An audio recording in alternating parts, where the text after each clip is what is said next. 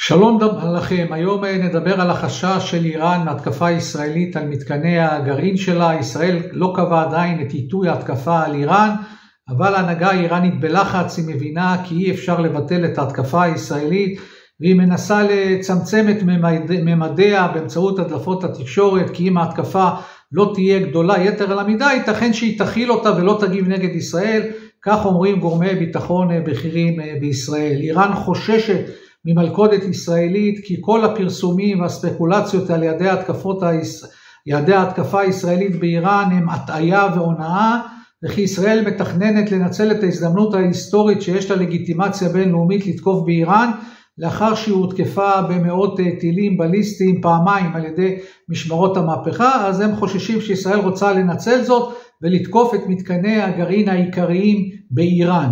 פרשנים אה, במדינות ערב אומרים כי אין להוציא מכלל אפשרות שישראל גם מטעה את וושינגטון ואת העולם וכי ראש הממשלה נתניהו לא נתן לנשיא ביידן בשיחת הטלפון האחרונה ביניהם שום התחייבות מפורשת שישראל תימנע מתקיפת אתרי הגרעין האיראנים או אה, אה, תקיפה של מתקני תעשיית הנפט. המנהיג העליון עלי חמינאי שלח את שר החוץ שלו עבאס עראקג'י לסיור דילוגים בכמה מדינות ערביות כמו עיראק ומצרים כדי לנסות למצוא איזשהו פתרון לצאת מהמשבר הזה שהם נמצאים בו. האיראנים לחוצים גם מהסנקציות שארצות הברית הטילה על איראן בעקבות מתקפת הטילים הבליסטיים שלה על ישראל אה, ב-1 באוקטובר. הסנקציות נועדו לפגוע אה, במגזרי הנפט והפטרוכימיה של איראן ויש בהן את דברי האמריקאים למנוע גם מהמשטר האיראני להפיק הכנסות משמעותיות שישמשו אותם למימון תוכניות גרעין, אה, למימון פיתוח טילים ופעילות טרור. על פי גורמים אמריקניים, איראן לא קיבלה עד כה שום ערבות כי ההתקפה הישראלית לא תכלול את אתרי הגרעין בשטחה או את מתקני תעשיית הנפט. גורמי מודיעין מערביים אומרים כי איראן חוששת שממשל ביידן איננו יכול לשכנע את ראש הממשלה נתניהו שלא לפגוע באתרי הגרעין שלה, במיוחד לאור העובדה שחיזבאללה איבד הרבה מהכוח הצבאי שלו והוא איננו עוד יכול להרתיע את ישראל אה, שלא לצאת למתקפה הזאת. ארצות הברית הבהירה לישראל כי היא מתנגדת לתקיפת אתרי הגרעין ומתקני הנפט האיראנים, אבל כאמור היא לא קיבלה שום הבטחה מישראל כי היא תימנע מצעד כזה. ההמתנה למתקפה הישראלית יוצרת אי נוחות ותסכול בהנהגה האיראנית, גם הרחוב האיראני מודאג מאוד מאפשרות תקיפת אה, מתקני הנפט האיראנים, כי הדבר הזה, אם ישראל תעשה אותו, יפגע קשות בכלכלה האיראנית, זה ישפיע על הכיס של האזרחים האיראנים. הדאגה אופפת גם את מדינות המפרץ, לאחר שאיראן הודיעה כי אם ישראל תתקוף את מתקני הנפט שלה, היא תגיב בהתקפות על תעשיית הנפט של מדינות המפרץ. הם רוצים לגרור גם אותם לתוך הבלגן הזה, ומדינות המפרץ רוצות להישאר מחוץ לסכסוך בין ישראל לאיראן.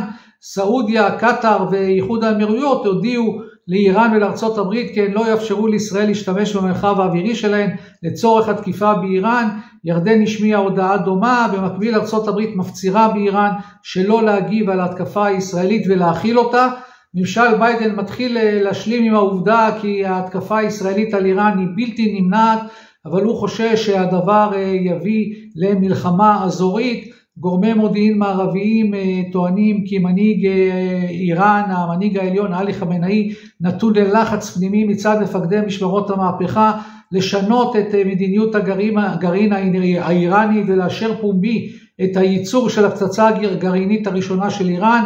הם דורשים ממנו לבטל רשמית את פסק ההלכה, אותה פתווה שהוא פרסם לפני הרבה שנים שאוסרת על ייצור נשק גרעיני. גורמים ביטחוניים בכירים אה, בישראל חוששים כי איראן תנצל את תקופת המעבר בין הבחירות בארצות הברית בחודש נובמבר, בחמישה בנובמבר לנשיאות, אה, לבין חודש ינואר שבו נכנס הנשיא הנבחר לבית הלבן, אה, שהאיראנים ינצלו את התקופה הזאת כדי לקבל החלטה על ייצור נשק גרעיני, דבר שיקשה על הממשל האמריקני החדש לגבש תגובה הולמת להחלטה כזאת. ישראל חוששים שאם דונלד טראמפ ייבחר לנשיא, איראן עלולה להכריז אה, על מעבר לייצור פצצה גרעינית ראשונה לפני שהוא נכנס לבית הלבן בחודש ינואר של השנה הבאה. לאיראנים יש חשבון ארוך עם טראמפ שהורה על חיסולו של קאסם סולימני, הוציא את ארצות הברית מהסכם הגרעין והטיל סנקציות, סנקציות כבדות על איראן.